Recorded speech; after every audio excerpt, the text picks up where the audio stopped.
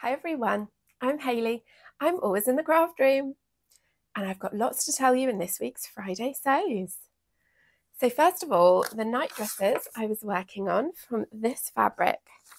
We're using McCall's 6074, and it's that orange view. You guys, this is the most cobbled together project I think I've ever done. so, I had made this pattern before but I'd cut it off as a top.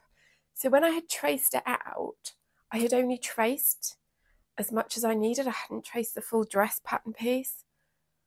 Well, they're just nighties. It's only a knit fabric. I couldn't be bothered to unfold all the pattern tissue again. So I just fudged it. I just kind of guessed when I cut out. And I've now sewn up the side seam and it's fine. I've made two exactly the same. But, oh, I want to finish the neckline edge with a stretch lace elastic. I use it all the time to finish underwear. It's really comfortable, easy to do. I thought it would give it a nice kind of lingerie look. Can I find the piece of elastic I want to use? No, no, I cannot. When I started doing this project, I went in the elastic stash to check if I had any that matched. Found some that was an absolutely perfect match. Put it with the fabric. Then, like two weeks later, I took the fabric to the house to cut it out, brought it back, put it in a pile of cut out things. You get where this is going. The stretch lace elastic is somewhere, but not here. Why didn't I just put it back in the box? Why didn't I just go, Yes, I have what I need. I'll leave it where it lives so that when the time comes that I need it, I know where it is. That's today's lesson. I should put things back where they actually go so I can find them the next time. Anyway, they're basically done except for applying said lace. I might put some around the sleeves or I might add a cap sleeve. And going back to, I can't be bothered to get this pattern tissue out again. The Itch to Stitch Idyllwild tee, I know I've got a cap sleeve piece cut out and, you know, it's a knit, it's a night dress. If I decide I want a cap sleeve, I'll just use that pattern piece. But what I think I'll probably do when I find the lace is do lace neckline, lace armholes, and then sleep in one of them and see what I want to do for the second because I don't know if that sounds a bit itchy, but you know, I have it in my underwear and it's not itchy, so we'll see. So that was the 90s. I also, Gold Star, did a project for my husband. Now, we've already established I wear my clothes for a very long time. In fact, I'm just looking at this cardigan. I was a bit chilly, so I slipped this on and I bought this with money from my very first Saturday job, which I got when I was 15. I'm now 41. yeah, I really do wear my clothes for a long time, but not as long as my husband because he brought me these. Are you ready for this? Oh, yeah, he finally decided his shorts were worn out when this happened. Hi. Now, you would assume, wouldn't you? He brought these over to the craft room because in that corner is the fabric recycling box. But no, you would be wrong. He brought these over to the craft room to tell me they still have a perfectly good zip. And could I take it out and put it in a different pair of trousers where the zip has failed? Now, do any of you have partners or kids or friends who give you jobs like this? And to them, it's just like, oh, swap a zip. Little do they know. The zip is normally the first thing you put in, isn't it? It's a very early step in the construction process. It's not an easy thing to get out. It's not an easy thing to put back in. Anyway, I actually made him take the old zip out because I was like, oh, my poor little hands, that will hurt me. I know. he really does. Yeah. Oh, deserve a better wife? I don't know where I was going with that. He really does put up with a lot. Anyway, he took the zip out and I've put it back in to the other pair of trousers and look, it functions. It's not the neatest thing ever because I'm not great at zips even when I've got a full set of instructions. And I will also confess, I stitched it on in navy thread because the man was wearing those shorts until last week. I don't think he's that concerned about whether his thread matches. So that is one job done. It also made me laugh because obviously I'm quite new to this whole YouTube thing. I don't know if you can tell from all the terrible editing, etc.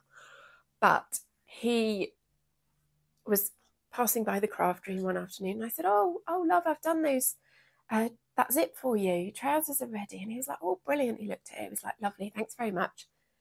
And he tried to take them away with him. And I was like, Whoa, whoa, whoa. Not until they've been on Friday Sews, mate. Like, I need the credit for that. Mm-hmm. Anyway, that's that job done. I have also been working on my Notches Patterns Odell dress. I've been talking about this for months. You're probably going to be so relieved I'm finally actually getting on with it. But here it is. I, I was obsessed with the pattern, but I didn't have any fabric in the stash. And then I bought this fabric a couple of weeks ago. And as soon as it came out the pre-wash, I cut it out. And I've started on these fantastic sleeves. I wonder if you can, you can't really get an idea, can you? That's the centre front. This is one of the sleeves in construction. Yeah, I'm pretty excited about how big those sleeves are.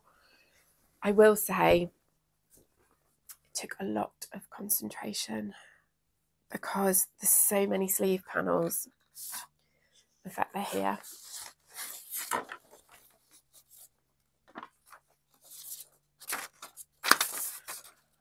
And there's still one there pinned and they all look really similar, but they are all actually different, like at the top and stuff. So, yeah, I've been very careful when I've cut them out. Been super careful to leave everything clipped together and to mark all the notches because that's how you put it all together and you know me and left and right. So that's why I've been working. I would normally do like one whole sleeve, then the other whole sleeve, but this fabric is quite similar, right and wrong sides. And I just wanted to be sure I was getting the right one on each side. So I've done both of those, both of those, both of those, both of those. And I've just noticed my little neckline fusing has not fused completely. So I'm going to gently put that on my ironing board so I can refuse that and make sure the neckline doesn't stretch out. So I'm super excited with that. It's coming on really well. Um, I am going to reveal it as part of my holiday wardrobe planning series because one of the items on my wish list was a travel dress, and that is it for sure. So um, look out for that coming soon. I have been filming little vlogs like a day in the life sewing, and oh, I've enjoyed it so much. It's been a real laugh, but I think you're probably all sick of hearing about my holiday now. So the next video I will do in that series it might have already gone out when you see this because, yeah, I can never get my head around what order it's all in. But anyway, I'm just going to do a big grand reveal rather than put you through any more of my ramblings, which is what I'm doing right now. So, huh, the last thing I want to show you is some new fabric purchases. So my kids have been off school a bit. We've had inset days and half term and yada, yada, yada. And we went to the Peak District. So you know what that means. I googled fabric shops and I found a fabric shop I'd never heard of called Ruby's Rags in New Mills. Really cute little town. Um, and top tip if you've got kids with you, the library is like pretty much right next door to Ruby's shop. I don't know if she's called Ruby, but anyway. Um, so my husband and the kids were super happy in the library because, you know, I have three things I love in life sewing, fabric, books. I'm determined to pass on at least one of them to the children, and so far, books is proving the most popular. So they were in the library, and I got to have such a good route in this shop. It is beautiful.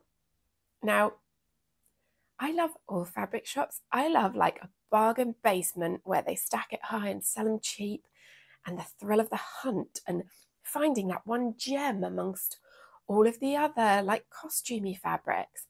But I also love a shop like this, which was just pure class.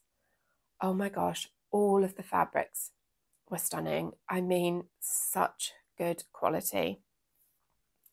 And of course, as I want to do, my eyes narrowed in on one fabric, and it turned out to be the most expensive fabric in the whole shop. Oops. And it's probably not going to look like much on screen, but it is the most beautiful linen, and it is 100% pure linen, but it's so soft so soft, I can't even tell you. The lady who owns the shop was almost apologetic about the cost. It was, I think it was 32 quid a metre ish, which is probably the most expensive fabric I've ever bought. But she was telling me it's hand woven in Spain by a father and son team. And you know what? How long have I been wearing this cardigan? If I wear this for as long as that the cost per wear will be mere pence. And if I'm going to put the hours into making it, I'm going to make something lovely. I'm going to look after it and wear it for years. But what should that thing be? So I initially thought a shirt dress, but from afar, I think this reads almost grey. It is blue, pale blue.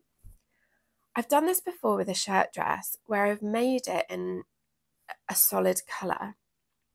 And it can read a bit uniformy, like maybe nursing or military. It looks a bit not utilitarian, institutional. So I'm hesitant to do a shirt dress, even though I think that would be lovely. Then I thought maybe a Darling Ranges shirt dress because that doesn't have a collar and somehow that reduces the workwear vibe. I don't know. I don't know, but I do hope you can appreciate what a gorgeous fabric this is. And also, let's all be pleased. My husband quickly got bored of watching me on YouTube and doesn't know how much that cost. The other fabric I bought was this. And I think she said it was a fabric godmother which, as far as I know, I've never owned one of their fabrics. I, I generally prefer a bargain when it comes to fabrics, but my skills are really improving and I'm no longer so worried about ruining fabrics. I think for two reasons. My skills are better, and also, I don't know if you've noticed, but when I like a pattern, I just make it again and again and again. So I know it fits and I know I like it and I know I'll wear it. So I'm happier to spend a little bit more. I just wonder if you can hear they are mowing the field next door. I say they, my husband is. It's not really mowing, it's more like ploughing. Anyway, it's loud. I hope you can't hear it. Um, and also, it keeps raining a little bit. Oh. Anyway, back to the fabric. So, this is it. It's a rayon viscose. Rayon or viscose, they're the same thing, aren't they? I'll hold it up so you can have a proper look. I just love these colours and this floral. The scale of it I thought was quite unusual. It's not ditzy, but it's not large scale either. It's in between. And it's lovely and that silky, smooth feeling. Looking at the weave, I have bought fabric that looks like this before, and it's been called a Marocain. It's not a challis, it's not a twill. There's like ribs going sideways. Anyway, it's delightful, whatever it is. It's not a crepe either, but it feels it's a similar weight to a viscose crepe. I'm thinking of the Georgia's Portfolio Mellow dress as the full dress. And I've previously avoided bias cut dresses because I had a ready to wear one once and it was super clingy and it just made me very self conscious. I didn't feel like it left much to the imagination. But this is a heavier weight and it's not shiny. I think that is key for me in bias cut fabrics. Um, any kind of satin, I don't like the way the light catches it. So this is nice and matte and it's such a busy print. Anyway, what I thought was I can do it as the dress and if it turns out I don't like it as a dress, I know I love the top. So I can just cut it off to top length and won't that look fab with my navy linen trousers? But I am going to give the dress a try. I did think I should try the dress in a stash fabric that I don't really like as like a wearable toile, but I know myself and by the time I've done that and I've got one, I'll just lose all enthusiasm for this fabric. I don't have much sewing time. Life is short. I'm going to cut into the good fabric. I'm very excited, but I do need to wash that first. So that's it for Friday sews this week. I have mainly been busy with holiday sewing, um, as you will know if you've been watching this channel. Oh, I did have as well a crochet top to show you. We'll have to do it next week because I can't be bothered to go and get it. Um, but I have been working on a little crochet top, which I thought might be quite useful for my holiday. Obviously, it's me, so it's gone wrong in quite a few places. There's a whole backstory. Come back next week and find out what it is. Thanks for watching, everyone. Bye. Hi, everyone. Is, do we need more lights? Oh. So I'm thinking, so why do I always say so at the beginning? Yeah, and I've just noticed, are we wonky? We've got mowing outside, we've got wonky. No, now my camera says that's wonky. Oh gosh, I'm annoying myself. Sorry. Totally lost my train of thought. Oh.